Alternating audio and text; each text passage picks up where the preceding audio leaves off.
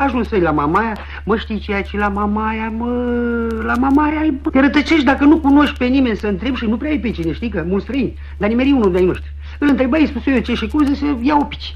Ajunsei la birou de plasare. Mă și acolo, mă sfătui cu oamenii, zice unul, du-te dumneata să te culci la Iunona. La Iunona. La Iunona. Bă, taică, bă, să se ducă la ea omul ei, mă. Mie dați în cameră la hotel, mă, eu vreau să mă odinez, mă. Eu vreau să mă odinez, că și dacă nu vrei, du-te la București. Păi ce să caut la București? Că de acolo veni, pe acolo trecui. Nu zice la hotel la București. A, la hotel la București. A, hotel București, e, da. E, mă, să acolo, cameră frumoasă, ce să eu, mă, obosit cum eram, aveam niște brânză, niște ouă, ia să nu mai mă dau jos. Mâncai? Mă culcai. Mă culcai, dar nu prea dormi. Jos gălăgie, chirete, jocuri, parcă e anuntă. Mă dau obosit cum era, până la urmă dormi. Dormi eu ce dormi și pe la patru dimineața ca omul, mă sculai. Ia să vă mă ce-o fi pe la mamare. Cât de și afară pustiu, nici sipenie de om. Nici sipenie, mă, unii cu niște tractoare arau așa pe lângă apă. Mă, ce-o să mână ăștia aici? Pe urmă mă lămuri eu, nu să mâna nimic, făcea numai așa să fie frumos. Că pe la 8-9, pe la 8-9 pot top de lume. Început să vie lume care cum venea să dezbrăca, să rea în apă, du-te încolo, vino încoace, să întindea pe nesâp, stătea la soare. Stau la soare, mă, stau la soare. La 3-4 pași mai încolo, umbră, frumos, iarbă, pom, e nimic la soare. E, dacă le place lor așa, lasă-i așa. E zic, ia să eu, eu pe malul gârile așa, să văd ce mai fi. Lume multă care în cort, care pe lângă cort, știi? Mă, că mă ui bine unul, om bătrân, auzi? Om bătrân, înălța un zmeu. Păi ce-o fi cu ăsta, bă, de înălță zmeu? Lângă el niște copii, dar copiii serioși. Serioși copiii jucau cărți. Ăsta bătrân înălța zmeu. E, lasă Bă, încolo restaurante, plin de restaurante, bea lumea bere, bea șprițuri, sucuri, fiecare ce vrea. Ce seara să chiar să mănâncă o friptură, bă, bă, du la restaurant. Bă, ce la restaurant când te duci, când ți-o zice ospătarul, vine, poți să te duci, mă. Poți să te duci, da, păi el zice vine așa ca să știi tu că o să vie. Dar tu poți să te duci, te duci acasă, tragi un pui de somn, vii tu. Până vii, e numai bine. Ce nu e o friptură, mă așezai, mă uitam și început muzica. Început muzica, Mă, ce aveai copii, mă, măi, copii, ce avea, mă, baxa, mă, prostia mea, ăștia bătuți de soare, mă.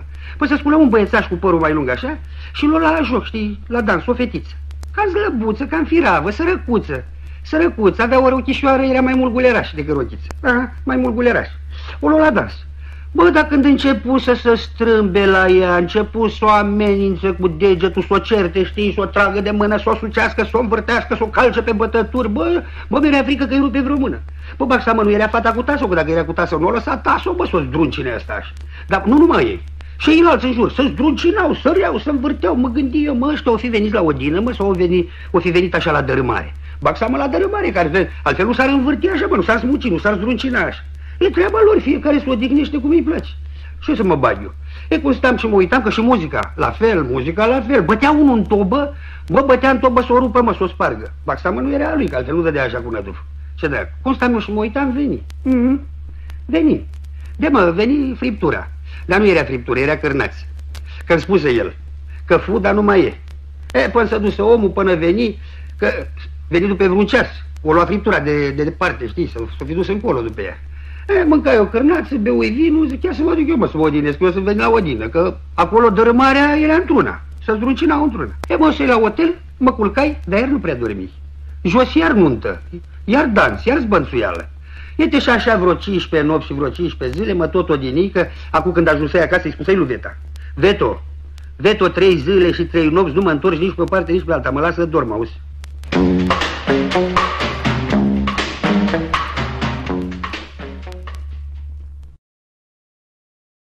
Bă, fraților, eu întotdeauna am zis că omul deștept e ca cribitul bun, auzi? Adică scapără, știi? Și la prost e ca ăla fără gămălie. Auzi, mă, fraților, ce făcu unul, mă. Mă, să vezi și să nu crezi. Acu e drept ca și la noi, la Băilești, când eram eu copilaș, era unul stănic al lui Zăpăcitu, auzi, s-a apucat să se dea muștere afară din curte. El le punea pe goană pe partea dinspre poartă și veneau altele dincolo dinspre grădină. De atunci altul la fel ca ăsta eu n-am mai pomenit. De-ai cu și ca de curând, într-un sat prin județul Alba încolo, m-a bătut eu cu niște treburi. Oameni buni pe acolo, gospodare al minter, n-am ce zice. Dacă nu era un afurisit, unul al lui... Ba, adică ce să-i mai zic numele, că o să râdă și curcele. Ce credeți că făcea, mă, jurat? Să îngrășea, auzi. Dar să îngrășea așa în fiecare zi, că de-l vedeai, te fereai, te, te fereai să nu pleznească lângă tine. Mă dusei și eu să-l văd. Îl găsei la ce ape la grajduri cu vacile acolo. Mă dădui lângă el Și că mă văzut sări de gât. În sări de gât cum mi-a sărit mie veta când, când veni din armată. Neamărine, zice, bine că veniți să-mi spui și mie vă două glume. Mă, vărule, zic, lasă tu glumele. Eu veni să te văd că se aude că tu ai fi unul care câștigi în greutate fiecare zi cât, cât un travai într-o stație. Mă uit eu mai bine la el și zic, mă, frate meu, bă, pe dacă intri la mine în jiu să revarsă apa de intră în Craiova, auzi? Ia zi, mă, tălică, cu ce te arânești? Că tare, că tare bine îți merge, auzi? Ce mănânci? Nu cumva tărâță și apucă de să umflă în tine. Sau altceva, poate îmi dai și mie rețeta, știi? Să-l pun pe nepotul meu că l-a îngreșat, că a slăbit, a, a slăbit ghetul de ele ca gardul, auzi? Mă, fraților, și unde nu se chitește omul meu pe un râs, de ziceai că-l gâdile toți draci la tălpi. Îl lăsai eu ce-l lăsai ca să-și facă plinul de râs, mă uitai pe urmă așa într-o dungă la el cum se uită culoța la bobocii de rață, să zic, mă, nu vrei să te oprești? Că te răsăști tot. Mai odinește de o țără. Păi fi ostenit atâta râs. Dar el zice, cum să nu rămânea, mărine, mă, că nu mă îngrași din cauza de mâncare. Dar de ce, mă, frate meu? De ce, din râs? Să știi, zice el, că din râs. Păi ce, matale, nu știi că râsul îngrași? Bă, tu vorbești serios? Sau mă fac să pun pe ei mei să râdă dimineața, prânz și seara? Pentru că îl pui să râdă și recreație la școală, auzi? Dar până să se jure el că așa este, mă uitai prin graș de așa, ca pentru un schimb de experiență, știi? Și văzui vacile lui. Mă, fraților, erau ca niște schilete, auzi? De slabe ce erau, trebuiau să le pui proptele, să nu se dărâme.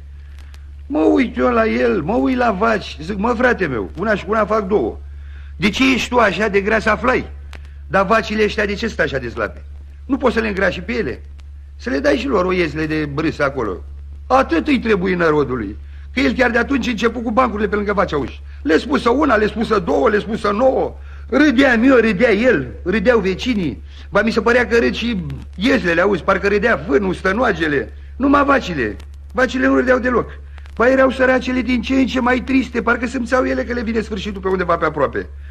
Erau tot mai slabe, parcă le-ar fi dat să mănânce irtie și cu risip schiert, auzi. La una nu zici că la una îi legă un aparat de radio, un tranzistor de gâștii? Zic, ce vrei, mă, băiatule, să mulgi muzică ușoară la ea? Păi și mă, mai chiar mărine, zice, dacă ar da vreo cinci cântece la mursoare, ce-ar fi rău? Zic, bă, tu nu vezi că vacile tale sunt ca și calendarul? Cum vine asta, zice el, cum vine asta? Păi da, sunt ca și calendar, calendarul, au zilele numărate. E, mai încercă el să le distreze, au și de în cap, pe una îi cu ruși pe bot, auzi? Pe alta o încălță, zice, doar o râde ele între ele, una de alta, știi? Dar până la urmă veni inginerul și îi zise, bă, ia mai termină dracu cu bancurile și cu năroziile, că omor bietele vite și n-au nicio vină. Ba, mi se pare mie că îi spusă că o să și-l înlocuiască, știi? O să pui un îngrijitor de treabă acolo. Dacă o lac peste pupăză, îi mai veni și o altă veste. Cum că Geta, Geta asta e o fată de vreo 18 ani pe care vrea el să o ia de nevastă. Nu vrea Geta nici ruptul capului să le ia de bărbat, nici să-l audă. Când o auzi grasul pe asta, parcă îi să lăsă o negură pe suflet așa. Vine la mine să se plângă. Zice, mă, nea Mărine, nu vrea să mă ia că, că sunt prea gras. Ce vina am eu neică, Mărine, dacă îmi place să glumesc și dacă râs un grașul pe om. Până la coadă eu să-i pe-a dreaptă.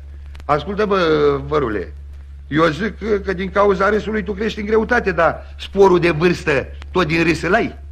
Că aflai că ea are 18 ani și tu ești de o seamă cu monumentul nostru la Băilești. Adică ai vreo 45. Deodată îl văzui așa că se cam desumflă. Păi și acum ce să fac eu? Zic, scrie și tu la sfatul medicului. Sau lasă fata vreo 10 ani să mai crească acolo. Păi și până crește eu ce să fac? Ce să fac, zic? Apucă-te și pune pietele vaci pe picioare, că e te le strângi cu lopata tu pe jos. Mai chiar tu nu vezi sau ai orbu găinilor, ălea lui Mitela, lui Brăbete care cânta cocoșești? Mă, fraților, eu atât am să-i să vă zic și atât am văzut să-i. Dar ce îmi pare rău? Îmi pare rău că n-apucai să-i spui gresanului. Păi să-i spui când eu pleznic capul să-mi trimeată și mie o țandără. Să-mi trimeată și mie o țandără, ce mai?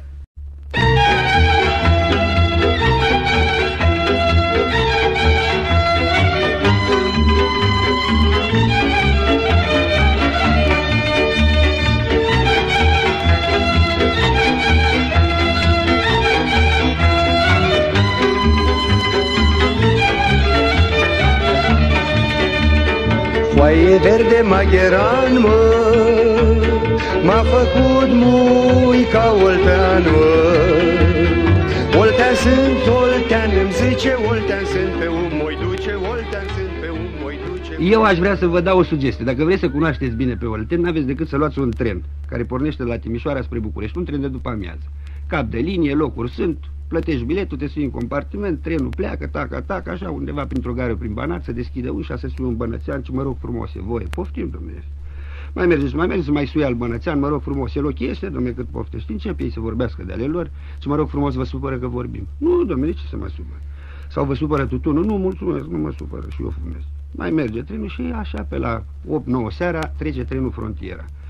Cum a trecut și a oprit în prima stație cu Olteni, să aude o hărmălaie nemaipomenită. Costică, Gheorghe, fiul răcu, ia paponița, pe ce mă lăsați pe mine cu toate, mă? Pe ce eu am șapte mâini? Ia-ține paponița, ține de gâscă, ia și de mijana. Pe ce fabă le iau toate, tu ce mai? Lasă-mă că eu să arăt drumul, că pierdem trinul. Hai, sus!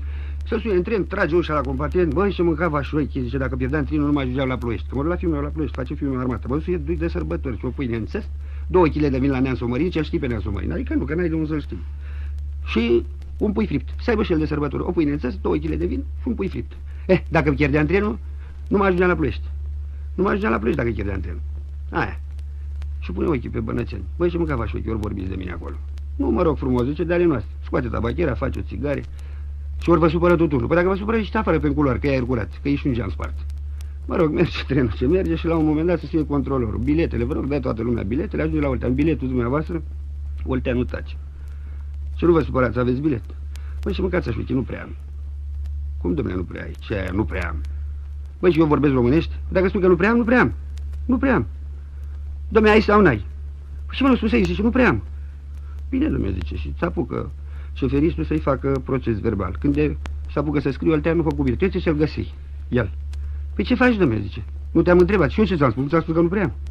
Păi bine, dom'le, și eu acum ce fac? M-am apucat să scriu aici. Păi ce, te pus eu să scrii? Aia cu care cum știm să scrii, să scrii ceva, să scriu și eu de dumneata. Am bine, mă lași în pace. Merge ce merge, doarme, nu merg pe la filia și așa. Mijlocul nopții dorm oamenii în trenul odată. Oaț, săriți, oaț, luare papolița, papolița cu puiul fript, cu chile de vin și cu pâineața de mășoară la fiul meu la ploiești. Foacii nu mai e. Unde o fi? Păi nu știm, domnule, de unde să știm noi. Și tot Olteanu zice, mă, și mâncava și acum ce să mai caut la ploiești? Că de-aia mă duceam la ploiești, acum ce să mai caut? Bagă să am în prostia mea să mă duc așa, doar să nu chiar biletul. Și ultima scenă era în poarta regimentului, iese fisul. Bă, zice, vezi că te cheamă tactul la poartă. Mă, Stane, zice, să făcut măta o pâine în țest. O mânji cu gălbinuș de o, zice, o pusă cu furculița. Pusă și două foi de dafi. Două chile de vin de la negru la întăumărin de place. Ție și un pui fript. Să ai și tu de sărbători. Un pui fript, o pâine în țest și două chile de vin. Eh, și o să mănânci vânt și o să bei ploaie. Că bine fură la filieș. Și acum ce te uiți ca boul la mine? Fă de un pol, că n-am bani de întors, n-auzi? Asta e un soi de afacere oltenească. Nu știu, azi râs, n-azi râs, treaba dumneavoastră.